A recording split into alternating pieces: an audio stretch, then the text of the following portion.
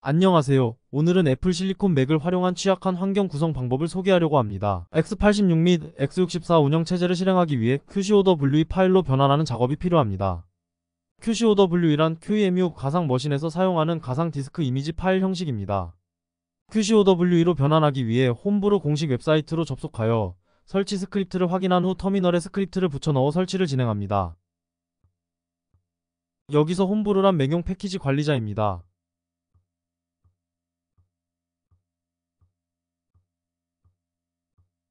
다음 명령어로 홈브루가 설치된 위치를 환경 변수에 추가합니다.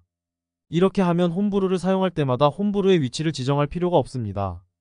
다음 명령어로 앞에서 추가한 내용을 실행합니다. 이 두 명령어는 홈브루를 편리하게 사용하기 위해 실행하는 것을 추천합니다. 브루 명령어로 홈브루를 확인합니다.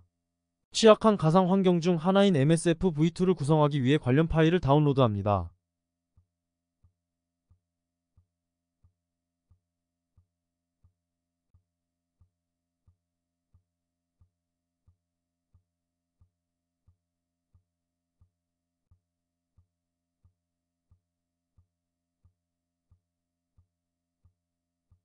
다운로드한 MSF v2 압축 파일을 해제한 후 터미널에서 다음 명령어로 QEMU 관련 패키지를 설치합니다.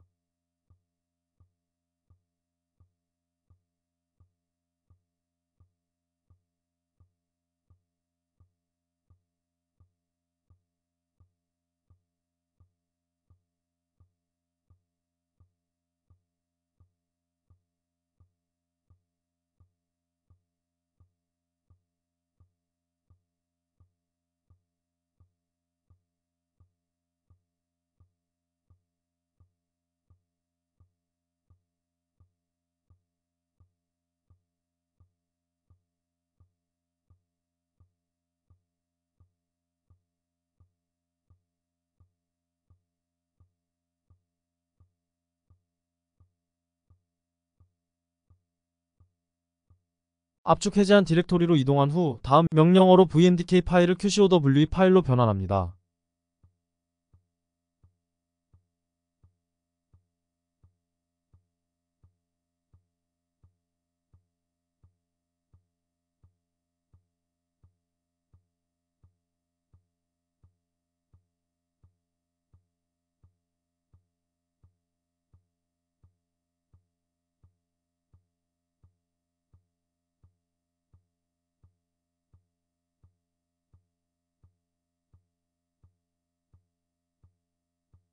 UTM을 실행한 후 상단의 플러스 버튼을 클릭합니다.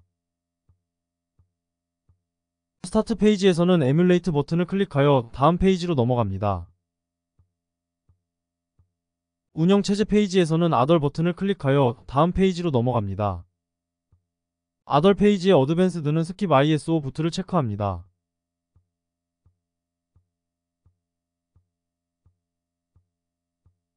장치 페이지에서는 아키텍처를 확인한 후 메모리 및 CPU를 지정합니다.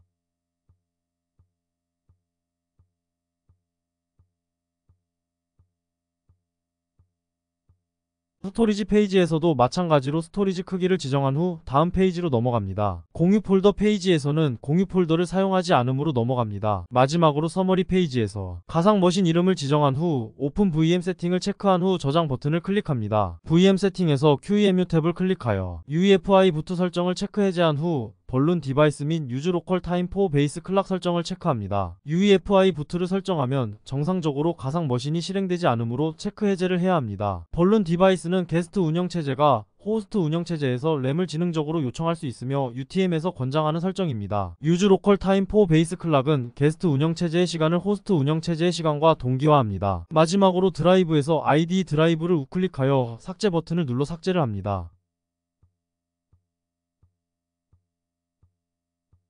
삭제를 한 후 추가 및 추가를 클릭하여 앞서 QCOW2로 변환한 파일을 선택한 후 저장 버튼을 클릭합니다.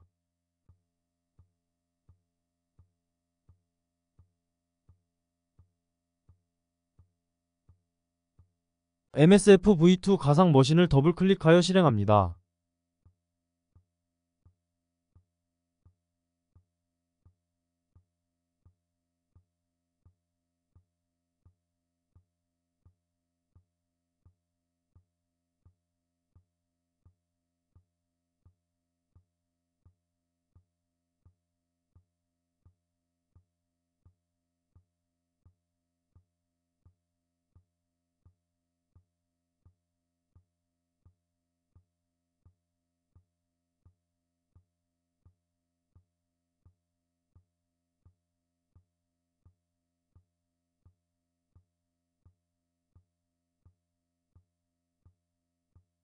msfadmin 및 msfadmin을 입력하여 로그인을 합니다.